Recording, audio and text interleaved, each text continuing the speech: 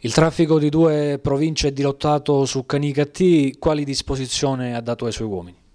La disposizione che abbiamo adottato come Polizia Municipale è quella di eh, vigilare in maniera attiva ma anche eh, dire, propositiva verso il cittadino eh, l'asse su cui il traffico è stato dislocato. Ci sono dei vigili nei due turni di servizio che noi riusciamo a garantire lungo questo asse che eh, svolgono un'attività di controllo attivo su quell'asse finalizzato a favorire quanto più possibile il traffico che su quell'arteria Italia in questo momento ricade. Stiamo parlando di un traffico consistente, in questo momento magari vediamo soltanto i primi, i primi elementi, ma nei prossimi giorni sicuramente avremo un flusso veicolare, specialmente del traffico pesante sul nostro territorio rilevante. La presenza della finalità dei vigili è quello proprio di informare i cittadini, di prevenire al massimo le situazioni di disagio e quindi garantire nel contempo una sicurezza che eh, la città e il territorio eh, merita proprio per la peculiarità che questa deviazione sta sta portando.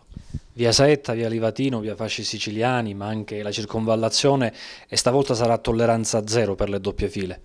Ma nei primi giorni, ripeto, ci stiamo muovendo nella logica della sensibilizzazione perché questo è un po' è un aspetto nuovo per la città ed è bene dare la possibilità ai cittadini di comprendere questa nuova esigenza che si sta prospettando che durerà per circa un mese. l'esigenza poi di dire, essere poco tolleranti è legata anche al, ad alcune situazioni che insistono su questa arteria. Questa è un'arteria di grande rilevanza per la città, su questa arteria si muovono i mezzi di soccorso, non dobbiamo dimenticare che su via Saetta c'è proprio l'accesso al, al, pronto soccorso cittadino e l'itinerario preferito anche da parte dei vigili del fuoco quando si muovono negli interventi di emergenza. Quindi dico l'arteria in sé ha delle caratteristiche che necessariamente portano ad attenzionarla in, in maniera puntuale, in maniera proprio, eh, ripeto, eh, finalizzata a garantire quanto più possibile il traffico. Questa è un'esigenza primaria, rispetto a questo noi siamo chiamati a svolgere un ruolo che è quello del controllo e quello anche della sanzione qualora,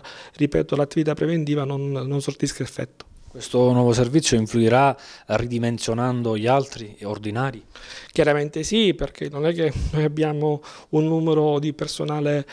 dire, che possiamo aumentare all'occorrenza, noi ci muoviamo nell'ambito delle risorse eh, disponibili ordinarie. Chiaramente eh, l'attivazione di questi servizi puntuali sul territorio appiedati in, in, nei punti nevralgici dove il traffico riteniamo si possa presentare comporta necessariamente la riduzione della presenza di altro personale in altri posti, però in questo abbiamo preferito ridurre un po' l'attività eh, che interessa prevalentemente le attività amministrative e burocratiche, quindi degli uffici, cercando di limitare al minimo